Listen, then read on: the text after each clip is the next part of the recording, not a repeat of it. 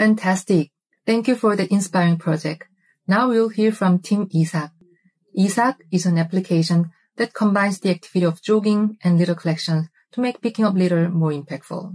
It uses Firebase, Flutter, Google Cloud Platform, and TensorFlow. Let's welcome the members of the team, Changwoo, Jongwoo, Jonghyung, and Hyunwook from the Soonchunhyang University in South Korea.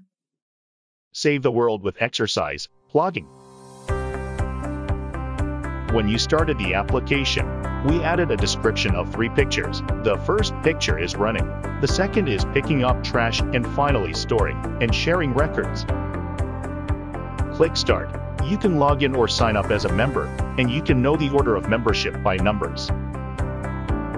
On the main screen, it starts with a screen composed of maps, and, and if you click on the top right, you will see the plogging guide. When you start running, you will see a screen consisting of four pieces of information.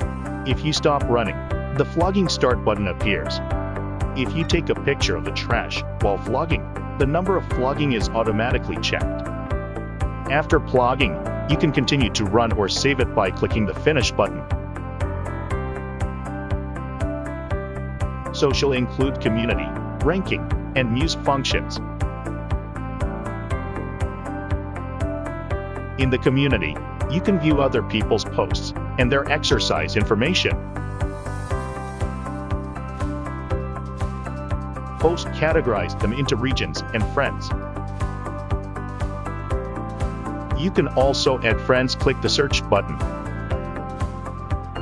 You can see your ranking of friends or region and see information about running or exercising in the news. There are weeks and accumulations in the challenge.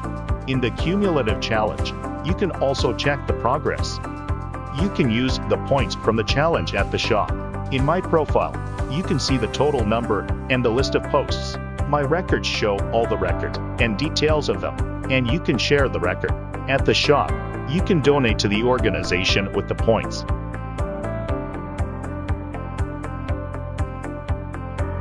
Save the earth from the trash, plogging.